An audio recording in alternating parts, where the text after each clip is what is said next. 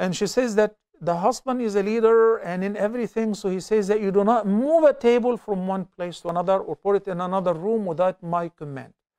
So that's why I wanted to share, even in the name. فإن أرادا فصالا عن تراض منهما وتشاور فلا جناح عليهما. The ayah talks about breastfeeding. And the wife who's breastfeeding, if she decides, you know what, enough is enough. The baby now is able to eat on his or her own.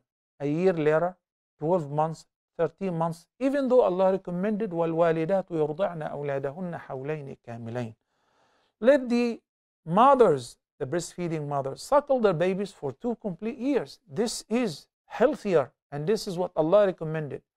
But if they decide the weaning before that, in arada, both of them do well. فصالا عن تراض منهما both of them are in an agreement وتشاور mutual consultation honey what do you think i think i'm getting really weak and my hemoglobin is um, very low I, I, don't think i can breastfeed the baby anymore and by the way the formula is doing okay and the baby can eat now so they discuss the matter and they decide okay let's do it or if the husband is a doctor and says, honey, but it is healthier for the baby, let me give you some multivitamins, uh, prenatal or whatever, so that you can continue for a couple more months. There is what? Mashura. When a man is very meticulous, that why did you put the keychain here? You should put them there. You should not move them from this place to that place without my, not to that extent. And Nabi Sallallahu Alaihi Wasallam didn't do that.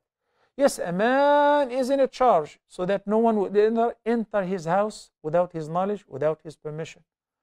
And uh, if I'm going anywhere, if I'm traveling, if I'm spending out of his money, I have to let him know, but not the very fine details. Okay? So that life will be easy.